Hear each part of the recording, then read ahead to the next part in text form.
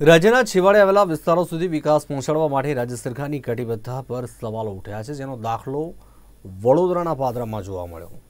તાલુકાની નગરપાલિકામાં જેબી ઓફિસની પાછળ આવેલી ત્રણ સોસાયટીમાં આજની તારીખે પણ વિકાસના નામે ધજિયા ઉડે છે.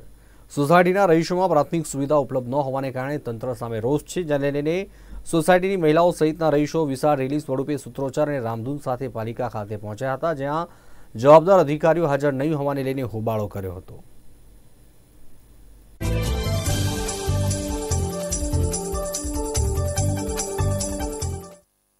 કેટલા ઘણા દિવસથી અમે લોકો આ પરિસ્થિતિ જોઈ રહ્યા છે. પહેલી વાર બી અમે એકવાર છ મહિના પહેલાં એમને અરજી આપી હતી. અમે લોકો નગરપાલિકામાં બી આવ્યા હતા.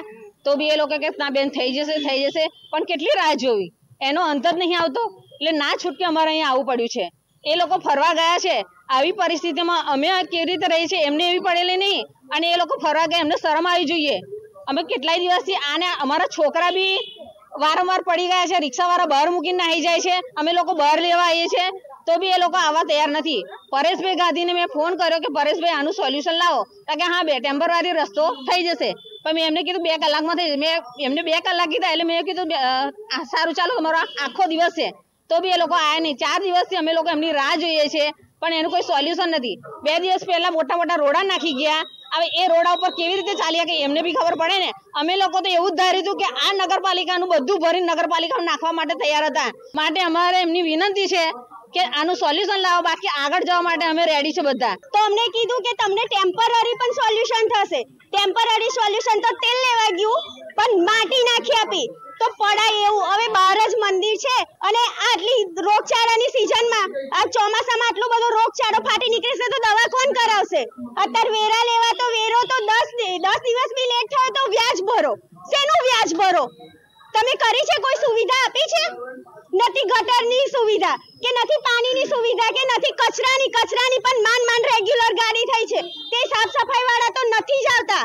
તે અંદર તો નહીં જ બહારના રોડ પરથી જ કચરા વાળો જતો રહે તોય બધા એડજસ્ટ કરીએ જ છે કે બધી મહિલાઓ સહન કરે જ છે.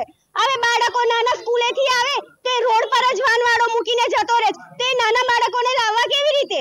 આપણે બાળકને તેડીએ કે એનું બેગ ઉછેકીએ કે આપણે અત્યારે નગરપાલિકામાં આવ્યા છે, અમને કોઈ સોલ્યુશન મળી નથી રહ્યું. હવે અત્યારે જ્યારે અમે નગરપાલિકામાં આવ્યા ને, ઓફિસનું બધું ચાલુ છે ને, કોઈ છે નહીં અહીંયા. કોઈ પણ નથી કે અમને કોઈ જવાબ આપી શકે. તો આનું જવાબદાર કોણ? છેલ્લી અલ્ટિમેટ આપે છે કે જો બે દિવસની અંદર જો પરમાનન્ટ કોઈ સોલ્યુશન નહીં આવે, તો ગટર જે વેરેમણા આગળ જે ગટર છે, એની અંદર અમે પર્સનલી બધા સોસાયટીના રહીશો ભેગા થઈ અને ગટર ગટરને તોડી અને અંદર ગોખંડ ખાવા છે એની અંદર પાઇપલાઇનમાં જાતે જ નાખે છે. બે દિવસમાં નગરપાલિકા સોલ્યુશન નહીં આવે. સોલ્યુશન જો લાવવાની હોય જ નગરપાલિકા, તો નગરપાલિકા કોર્પોરેટ અત્યારે દમણની અંદર બધા મોજ કરી રહ્યા છે. પબ્લિકના પૈસા તાકડધીંગા કરવાની એ લોકોને જરૂર છે. તો નહીં રહીશોને એ ગટરની અંદર મૂકીને નાહી ગયા છે. તો કે કોઈ કોઈ સોલ્યુશન વરસાદી મોસમની અંદર જો કઈ આ રોગચાળા ફાડી જવાબદાર કોણ? નગરપાલિકા રહેશે.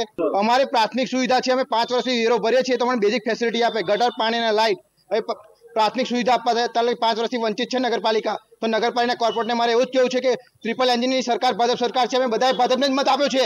અમે કોઈ કોંગ્રેસને વોટ નોટ ખુલ્લેઆમ અમે કહીએ છીએ. પણ ભાજપ સરકારના અધિકારી હોવા છતાં લોકો કંઈ કરવા રાજી નથી. અત્યારે અમે લાગી નગરપાલિકાના કોઈ કોર્પોરેટર હાજર નથી. અત્યારે વાગે છે દસ ને ચાલીસનો ટાઈમ છે કે કોઈ ઓફિસર હાજર નથી.